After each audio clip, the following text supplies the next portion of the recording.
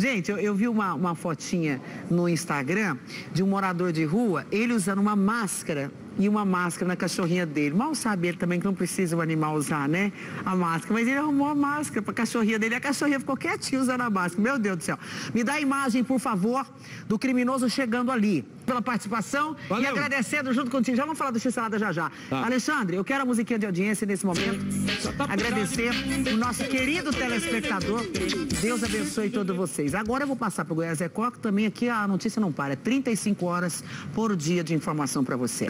A Defesa Civil está em alerta para os pontos de alagamentos aqui em Goiânia. Para mim isso é seríssimo, é o que a gente fala. A gente torce para a chuva chegar, precisamos de chuva, mas o transtorno também chega junto. Boa noite. Verdade, Silvia. Boa noite para você, boa noite para o pessoal de casa.